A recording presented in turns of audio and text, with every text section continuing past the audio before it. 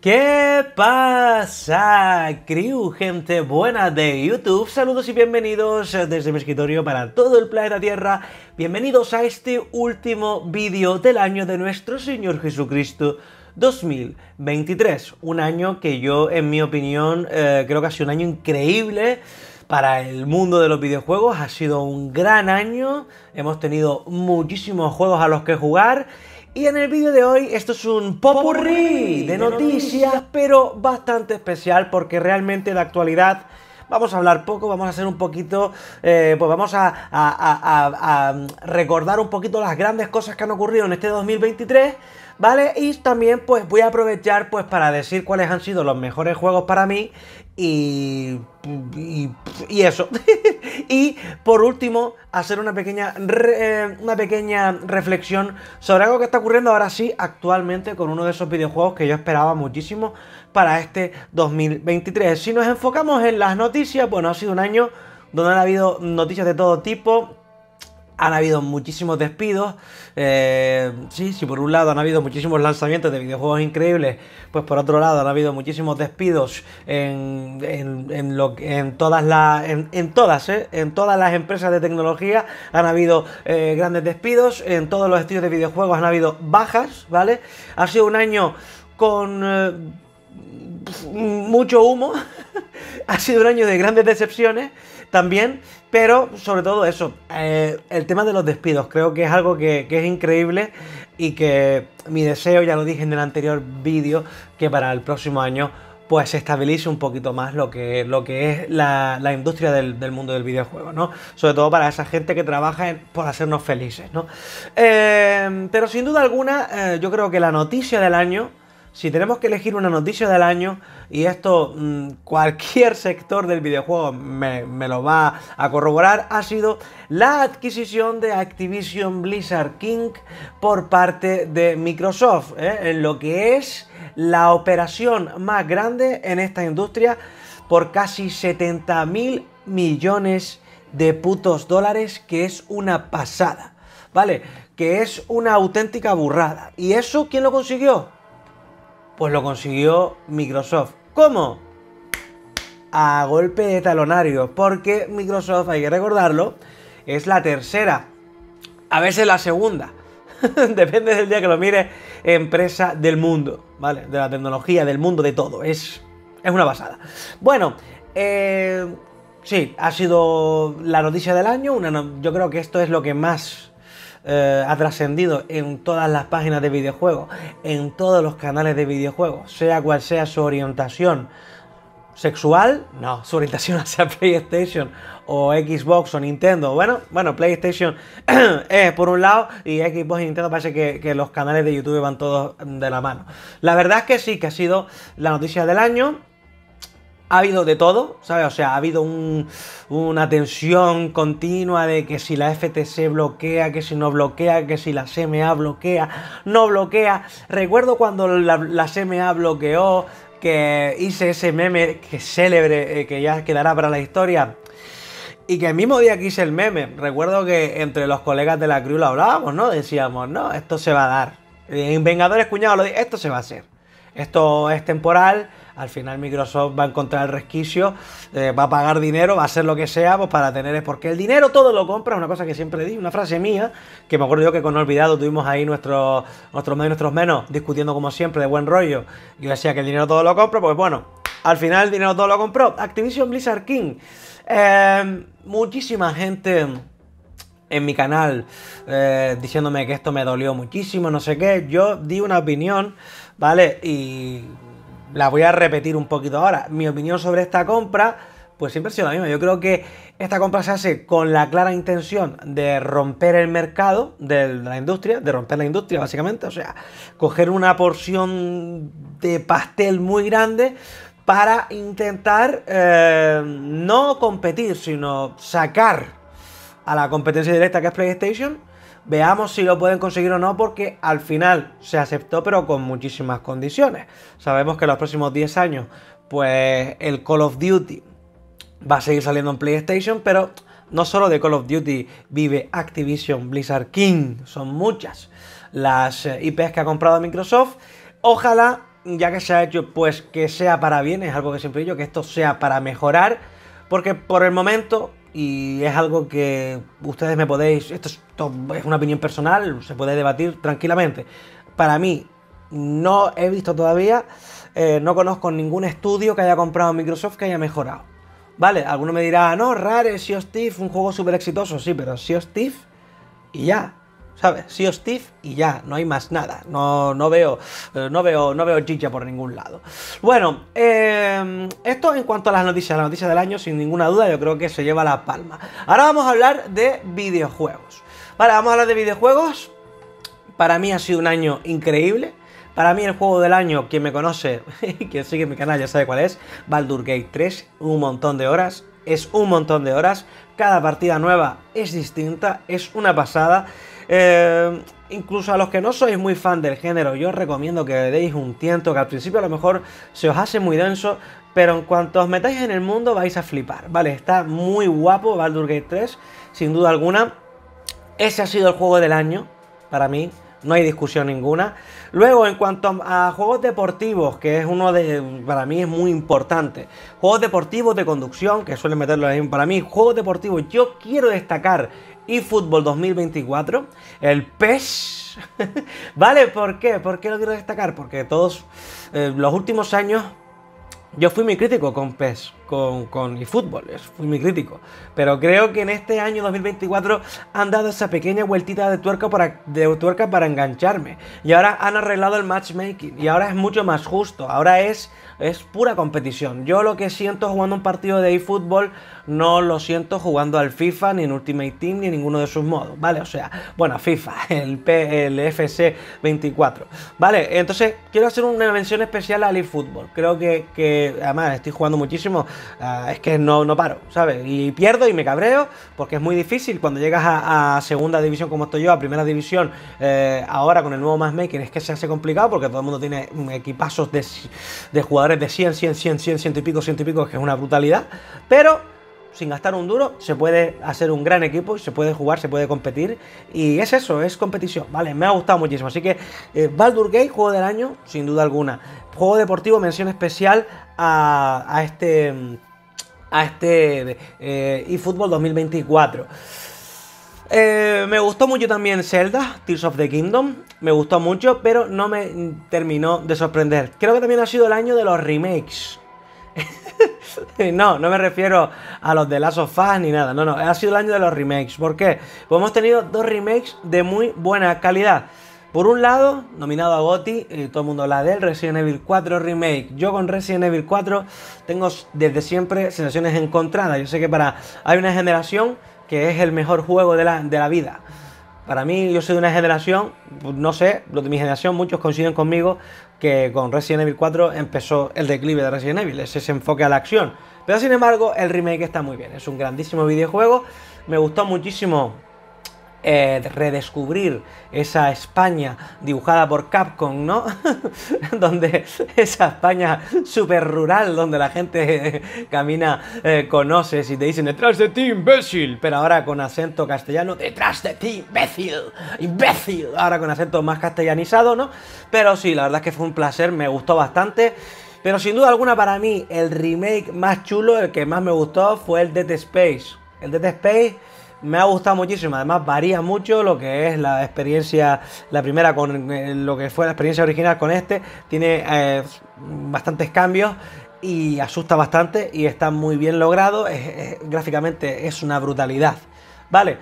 Y esos son, pues, eh, es el remake para mí del año. Si, si, me voy a los a, plataformas, a juegos de plataforma, pues me a Super Mario Wonder.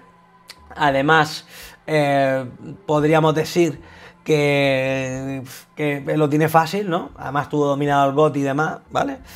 Pero bueno, eh, ha habido más remake, el, Metroid Prime Remastered, otro, otro que está ahí que ahora lo vamos a nombrar porque está entre los mejores juegos del año para Metacritic, que es lo siguiente lo que vamos a ir. Pero bueno, sin duda alguna, para mí, el juego del año, Baldur Gate 3 y fútbol, juego deportivo y bueno, y luego el año de los remakes. Luego, eh, la, eh, la, gran estafa del año, sin duda alguna, ha sido The Day Before. Además es bastante reciente. Mucha gente compró el juego, mucha gente se hizo ilusión, pasó de ser lo más esperado en Steam a cerrar los servidores ya en enero, creo que cierran o en febrero algo así. Increíble. Se marcaron un auténtico abandoned. Han habido, por supuesto, y lo hemos dado aquí en las noticias, otros abandones. Han habido, por ejemplo, ese modo de juego de The Last of Us, eh, el modo de juego online que mm, se flu, se fue, voló, ya no va a estar de momento. No sé si algún día lo reflotarán. Pero sin duda alguna, yo creo que si tenemos que hablar de una cancelación de un juego que decepcionó muchísimo, fue ese, ¿vale? Luego, eh, mención especial un juego que ha sido muy olvidado en todos los premios, o sea, no lo sé, y sin embargo ha sido el juego más vendido del año, que es el Hogwarts Legacy. Que sí, no es perfecto, que sí, que la, historia es un poco... Eh, no es un bestseller, la historia que te cuenta Hogwarts Legacy, pero considero que es un juego que está muy bien hecho. Pasear por, por, por Hogwarts es una pasada y yo creo que el mundo abierto que, construyeron está bastante bien. Sí que es verdad que uh, quizá un poquito, pues, oportunidad perdida. También quiero hacer otra mención a Street Fighter 6, por supuesto, Street Fighter 6, juego de lucha para mí del año, y eso que estuvo... Eh, ahí rivalizando con Mortal Kombat 1, que también no lo he jugado, pero también tengo muy buen feedback de este, de este Mortal Kombat 1. yo normalmente los Mortal Kombat los suelo pillar al segundo año, que suelen bajar muchísimo de precio, o cuando saquen una eh, versión con todo el contenido, porque a mí eso de pagar contenido eh, así aparte, lo que hicieron en Halloween, tío, de venderte un Fatality a mí no me gustan esas mierdas, así que Warner Bros. te lo puedes meter por el hojaldre, ¿vale? Esto es así.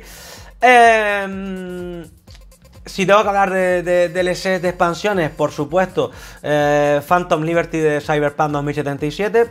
Creo que ganó el GOTY al, al, mejor juego eh, perpetuo. No me acuerdo, el, premio este que es la persistencia del juego y tal, mantener a los jugadores. Yo creo que lo ha hecho muy bien eh, Cyberpunk. Ahora mismo mm, empezó como Cyberbug y ahora mismo es Cyber la hostia, porque está muy guapo. Es un puto juegazo y además se mueve como Los Ángeles, ¿vale? Eh, Juegazo gordo, eh, Phantom Liberty. Y yo creo que no se me queda nada más. Eh, Alan Wake 2 está muy bien. Spider-Man 2 está muy bien. Hay muchísimos grandes videojuegos. Seguramente, pues para ustedes en la caja de comentarios. Quiero que me digáis cuál es el videojuego que a ustedes más os ha gustado. Estoy encantado de leerles. Estoy, por supuesto, encantado de leerles. Y eh, ya para terminar un poco con lo que han sido pues los videojuegos del año, pues quiero hablar de un juego que yo lo esperaba muchísimo, muchísimo, muchísimo y que como lo esperaba tanto y esperaba tanto de él, para mí es la gran decepción de este 2023. Y mucha gente me dice, ¿Eh, ¿te duele el Starfield? Pues sí, tengo que reconocerlo. Me duele bastante el Starfield, pero algunos piensan que me duele el Starfield porque no salió en PlayStation 5, lo cual es una soberana gilipollez porque todo el que me, el que me conoce sabe que yo donde más juego es en PC y que, y que, bueno, de hecho el Starfield me lo terminé, me lo terminé relativamente rápido, pero eh, si bien con los juegos de Bethesda normalmente me queda ese gusanillo de querer seguir explorando y hacer muchas secundarias y, estar deseando que salga contenido eh, post lanzamiento. En el caso de Starfield fue pasármelo, tío, y decir, sí, hice una... jugué bastante, creo que jugué unas 90 horas, más o menos, o algo así. Creo que suficiente. Eh, me decepcionó bastante, me decepcionó bastante. No estoy diciendo con esto, señoras y señores, y quiero que lo tengan claro, que sea un mal videojuego. A mí todos esos que dicen Starfire, no, no soy ese. Vale, yo, para mí es un juego que me gustó. Me gustó la premisa. ¿eh? Me gustó mucho la premisa. Pero... Mm, eh, no sé. Eh, la historia me pareció bastante ramplona, sobre todo en el inicio, ¿no? no sé, dice, hola, te regalo mi nave, ¿sabes? Coge mi nave sin pegas, tal. O sea, tiene un par de cosas incoherentes. Por otra parte, no sé, no, no me terminó de enganchar lo que es eh, lo que es la historia. O sea, luego, a medida que va pasando y te vas dando cuenta de lo que te va contando, no voy a hacer ningún tipo de spoiler, pues dice, oye, cada vez me gusta más. Pero al principio, las primeras 3-4 horas eh, no tenía puto sentido. Luego al final le pillas el truco y al final te termina gustando y tienes un buen videojuego. Tienes un buen videojuego con su componente espacial y tal, pero que ese componente espacial es lo que yo creo que no supieron eh, no supieron leer bien, ¿no? No supieron leer, venderte bien el juego o igual te lo supieron vender muy bien porque en Steam actualmente, y estoy aquí lo tengo puesto, actualmente en Steam es, eh, está entre lo más vendido del año. O sea, está entre lo más vendido del año, pero, y aquí es donde quiero ir yo con ustedes, está ahora mismo en variadas. Vale, están, las reseñas generales están variados. Esto para el que no conozca muy bien cómo funciona Steam, quiere decir que hay mucha gente que no está contenta con el videojuego. ¿Vale? Mucha gente. Y en las reseñas recientes, que son las últimas 7400 reseñas más o menos, están mayormente negativos. O sea, ha habido una última oleada de gente votándolo en negativo. Hay quien dice por ahí, hay quien dice por ahí que son eh, falsos eh, jugadores que han comprado el juego y lo han devuelto. Esto puede pasar. Esto puede que haya... De hecho, yo he localizado a cuatro de las reseñas que, pone 0,6 horas jugadas. O 2 horas jugadas. Esto quiere decir que no...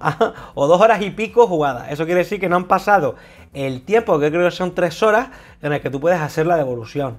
Tú en Steam puedes comprar el juego y luego devolverlo. Y si lo tienes comprado, puedes evaluar el videojuego. Pero Steam no engaña. Steam no engaña. Y esto es una cosa que yo quiero dejar muy clara porque he visto a YouTube. Vemos del mármol, ¿vale? Eh, un poco. Eh, que cosa que me extraña mucho de él, que yo creo que es un tío serio. Y, lo he visto. Y por lo que me ha llegado, no he visto el vídeo. pero he visto intentando decir que esto es una oleada para, difamar a un juego que está muy bien y demás. Eh, bueno, Vemos lo sabe porque juega en PC. Yo lo sé porque juego en PC. Y todos los que usen Steam lo saben. Si tú te vas a las eh, reseñas, en las reseñas negativas, te sale el tiempo que has jugado. Tú puedes descartar las reseñas negativas que tienen dos horas jugadas. Pero la mayoría de las reseñas negativas que hay, ¿vale? Que son las que tienen el juego en variadas, tienen 30 horas, 15 horas, 30, tienen 60 horas, tienen 90 horas, tienen 100 horas. Hay una reseña negativa con 700 y pico horas que yo no sé cómo cojones lo habrá hecho. Yo creo que eso ahí tiene truco porque 700 horas de Starfield hay que echarle huevos para jugar 700 horas a eso porque yo, O sea, yo creo que con... Yo jugué unas 90 y con las 90 que tengo, yo creo que, que vamos sobrados. Pero es lo que quiero decir, o sea, hay 21 horas, 21 horas, hay, hay algunos, por supuesto, hay algunos por supuesto que hay algunos que han hecho eh, esta tontería, pero son una minoría. Y yo creo que tratar de quitarle veracidad a Steam, para mí, es cometer un grave error. ¿Por qué es cometer un grave error? Porque Steam, a día de hoy, señoras y señores, es lo más fiable que hay en cuanto a puntuación de videojuegos. Más fiable que nada, más fiable que, la propia Metacritic. Porque Metacritic cualquiera entra y hace una reseña negativa. De hecho, tenemos lo de los ceros, la, típica bobería de los ceros. Metacritic es lo de la prensa, que ahora vamos a ver los juegos, mejores juegos según Metacritic de la prensa. Está Metacritic de la, prensa y tal. Pero, no sé. Entonces, eh, y esto es lo más actual que traigo en el día de hoy, eh, lo, de, lo, de, lo, de, lo de Starfield. Starfield es un juego que a mí me gustó, pero que para mí yo tenía de verdad la ilusión de que fuera el juego del año. Y, muchos me dirán, cállate, tío, un pipiro, no sé qué. Despierta, crece, eh, de verdad, deja el sonajero a un lado. Estoy hablando de. Estoy hablando en serio. O sea, yo deseaba mucho el Starfield. Ahí están todos los podcasts anteriores donde lo decía. Confío en Starfield, va a estar muy bien. Y el juego estuvo bien, pero ya está. Estuvo bien. Juego de 6, 7, 8 si me flipo. vale, no hay más. Bueno, eh, y para terminar, pues quiero traer la lista de los videojuegos, de los 10 mejores videojuegos según Metacritic, ¿vale? Eh, vamos de 10 al del, del 10 al 1. Tenemos Turbo Overkill con un 91 en la décima posición. Against The Storm con 92 también en la novena posición, son dos juegos que no he jugado. Street Fighter 6 en la octava posición con un 92. 92 también tiene Xenoblade Chronicle 3, joder, en la expansión, ¿vale? Eh, expansión Wave 4, Future Rhythm, no, no la he jugado tampoco. Super Mario Bros. Wonder está en la sexta posición con 92. 93 Resident Evil 4 eh, en la quinta posición. En la cuarta posición Asgard War 2, 93. En la tercera posición, Metroid Prime Remastered con 94. The Legend of Zelda Tears of the Kingdom, segunda posición con 96. Los mismos puntos que tiene también Baldur Gates 3. Eh, hombre, a mí ver ahí a Metroid Prime Remastered me choca un poco porque es eso, es un remastered. Vale, es un remastered. Pero sin duda alguna, el gran detalle es que no hay ningún exclusivo de Xbox o PlayStation. ¿Vale? Así que este año eh, la guerra de consolas eh, en Metacritic pues no se ha notado. En los medios de comunicación pues no se ha notado en lo que a nota se refiere. No hemos visto ahí esa gran lucha, ¿no? Y bueno, ya hemos llegado a los 20 minutos de vídeo, que es lo que suelen durar los uh, popurris de noticias. Yo creo que no me he dejado nada en el tintero, he hecho un pequeño resumen de todo lo que ha sido el año. Espero que os haya parecido eh, interesante el vídeo. Eh, muchísimas gracias a los que seguís esta sección, la sección de las noticias. ¿Por qué? Porque creo que mm, con esta sección fue con la que yo abrí el canal. Noticias semanales de videojuegos. Y esta sección es la que yo no quiero que nunca muera. Y esta sección es la que me gustaría que, fuera la más vista, sinceramente. Yo no sé por qué se me apaga la pantalla, ¿eh? ¿sabes? Pero es la sección que me gustaría que, nunca muriera y que mucha gente la viera, porque creo que es la sección que con más cariño, eh, que más con, que más, con, más cariño grabo, sinceramente, ¿vale? Buscar noticias, enterarme de todo y transmitirlo, pues para comentarlo con todos ustedes en las cajas de comentarios. Muchas gracias, señoras y señores. Eh, si no, si no volvemos a grabar nada, yo espero hacer un pequeño, eh, un pequeño podcast de Vengadores eh, mañana, pero corto, ¿vale? Versión corta para despedir el año.